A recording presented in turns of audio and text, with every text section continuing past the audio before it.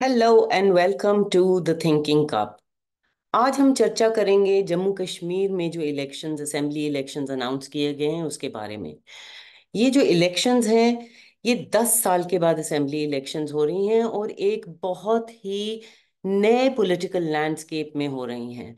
2019 में जम्मू कश्मीर को अ, की अटोनमी को इरोड कर दिया गया था पूरी तरह से ख़त्म कर दिया गया था।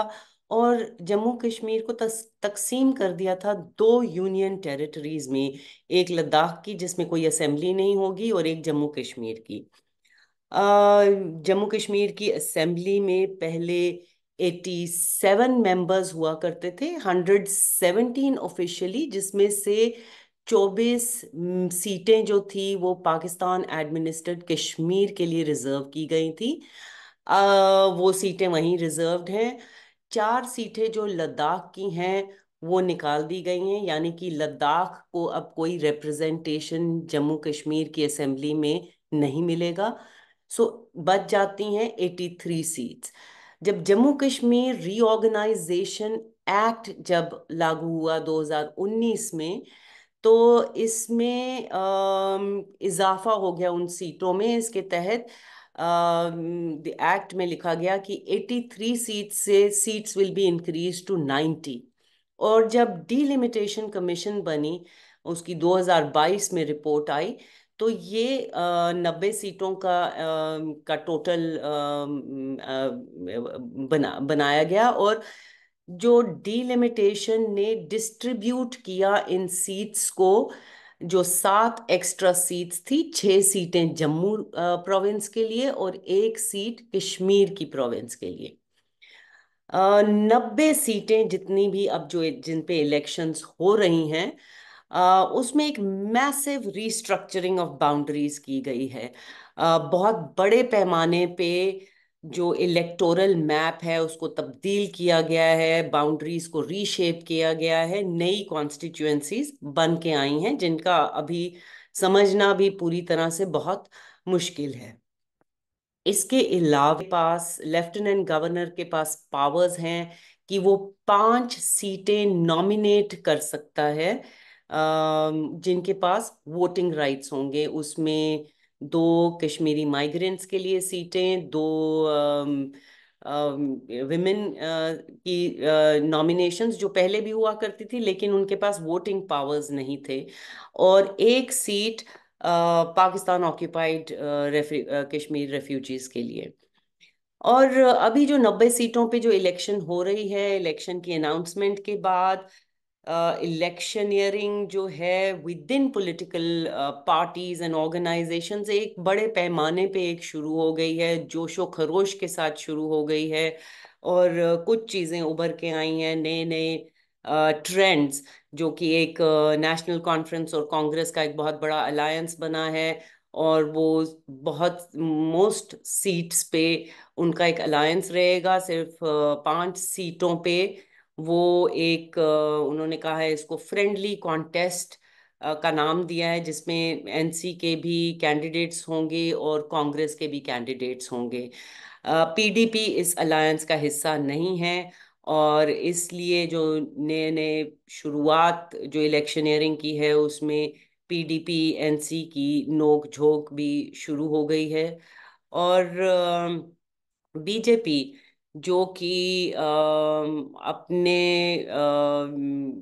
कॉन्स्टिट्युएंसी को स्ट्रेंथन करने की कोशिश कर रही है। शुरू में ही एक कंट्रोवर्सी में इन्वॉल्व हो गई, क्योंकि जब नॉमिनेशंस की लिस्ट आई दिल्ली से बनकर तो उस पर बहुत बड़ा हंगामा शुरू हो गया बीजेपी के दफ्तर में।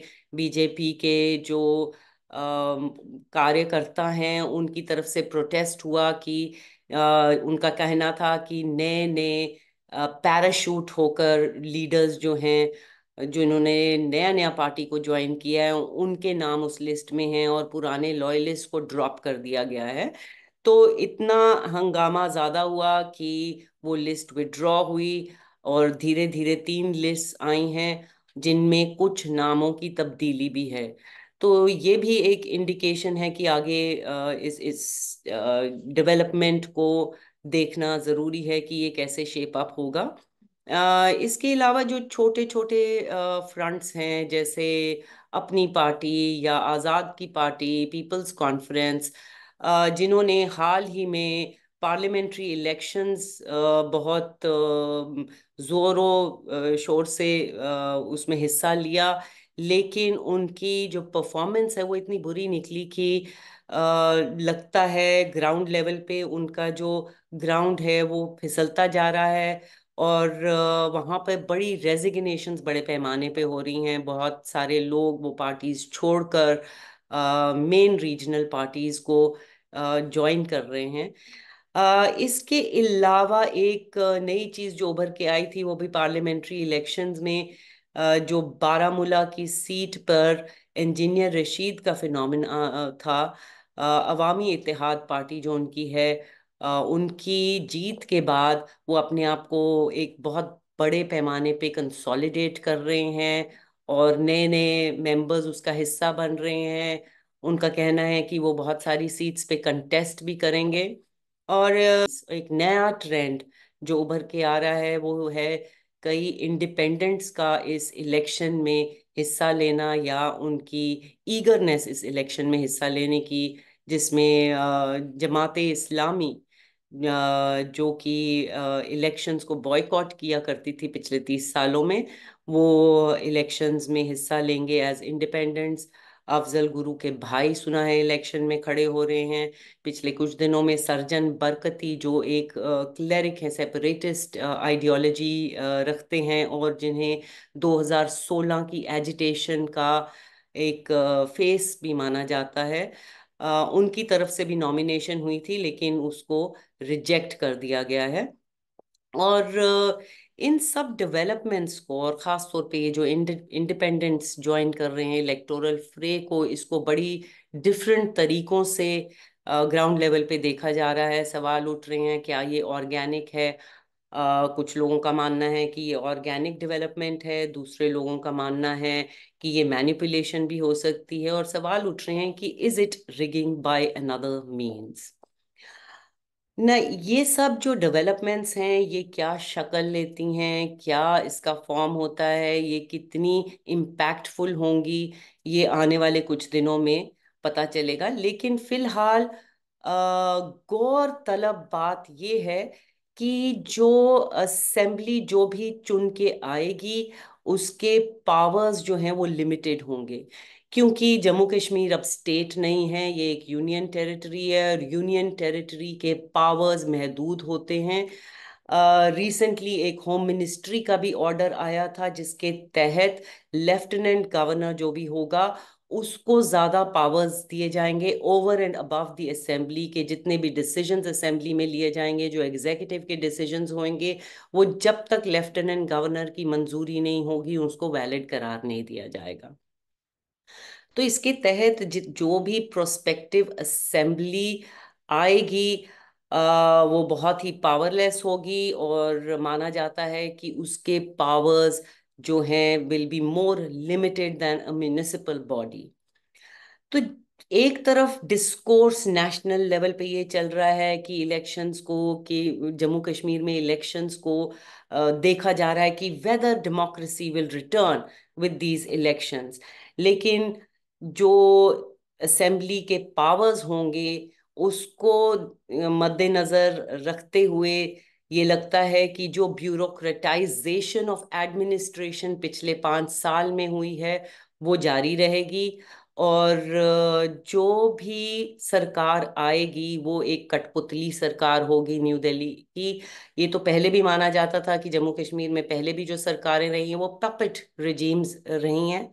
लेकिन अब जो है मैनिपुलेशन का स्केल और लेवल कहीं ज़्यादा हो सकता है। इन सब चीज़ों के बावजूद कि जम्मू कश्मीर की जो असेंबली है, उसके इख्तियार बहुत कम होंगे, उसके बावजूद यहाँ पे इलेक्शन जो है इलेक्शन कैंपेनिंग जो है, वो फुल स्विंग पे शुरू हो गई है। और हर एक party they are trying to invest their best एड़ी चोटी का ज़ोर लगा रहे हैं और ऐसा लगता है कि एक बहुत बिटर कॉन्टेस्ट होने वाला है, बहुत सारी पार्टीज़ और इंडिविजुअल्स फ्रे में होंगी। तो क्या ये एक सिर्फ़ स्क्रैम्बल फॉर पावर है? डेफिनेटली कुछ चीज़ों से अंदाज़ा होता है कि इसके साइंस हैं, लेकिन जो स्क्रैम्बल फॉर पावर है वो एक पावरलेस असेंबली के लिए है। तो क्या ये सिर्फ़ पावर के लिए लड़ाई है। It seems that it is more a fight for political legitimacy. और बहुत सारी पार्टीज़ और स्टेक होल्डर्स जो हैं, वो अपनी पॉलिटिकल लेजिटिमेसी के लिए इस इलेक्शन में लड़ रहे हैं और इसलिए भी अब एड़ी चोटी का ज़ोर लगा रहे हैं। ये पॉलिटिकल लेजिटिमेसी इतनी अहम क्यों है? For different parties it is different reasons BJP का एक पुराना आइडियोलॉजिकल एम्बिशन रहा है कि जम्मू कश्मीर जो कि एक sole Muslim majority region state थी पहले इंडिया में, उसमें अपना सैफरन झंडा गाड़ना चाहते हैं और एक अपनी हुकूमत लाना चाहते हैं। और उनके लिए ये भी, इसलिए भी ज़रूरी है इस इलेक्शन में अच्छा परफॉर्म करना या उसको जीतना, क्योंकि पिछले पाँच साल में जो उन्होंने एक पॉलिटिकल नैरेटिव चलाया है, पॉजिटिविटी का, डेवलपमेंट का, प्रोग्रेस का, वो उनके लिए ये इम्पोर्टेंट है उसको प्रूव करना कि इलेक्शन जीत के कि ये ये जो पॉजिटिव डेवलपमेंट्स की हम बात कर रहे थे, वो सही थी। जहाँ तक रीजनल प्लेयर्स का सवाल है नेशनल कॉन्फ्रेंस और पीपल्स डेमोक्रेटिक पार्टी का, जिनकी जिनकी जो पॉलिटिकल एक्टिविटीज़ हैं कंप्लीटली मार्जिनलाइज हो गई हैं पिछले पाँच साल में, जिनकी पार्टीज़ काफ़ी बिखर गई हैं ख़ास तौर पे पीडीपी की, उनके लिए ये बहुत अहम है कि वो अपना जो लॉस्ट स्पेस है उसको रिकवर करें और रिक्लेम करें। कांग्रेस जो एक बहुत बड़े पैमाने पे भी इलेक्शन में हिस्सा ले रही है और अपने आप को देखती है एज ए नेशनल ऑल्टरनेटिव उसके लिए भी बहुत ज़रूरी है कि वो अपनी लेजिटिमेसी जम्मू कश्मीर में किसी न किसी तरह से दिखाए। अब ये थी अहम बात कि इलेक्शन के जो जम्मू कश्मीर में इलेक्शन के बाद असेंबली बनेगी कि उसके पावर्स क्या होंगे और इस इलेक्शन का मतलब क्या है। लेकिन जैसे जैसे ये इलेक्शन का ड्रामा अनफोल्ड होगा, हम इसके बारे में और चर्चा जारी रखेंगे अगले कई एपिसोड्स में। और फ़िलहाल के लिए इतना ही, फिर मिलेंगे एक और एपिसोड के साथ। शुक्रिया।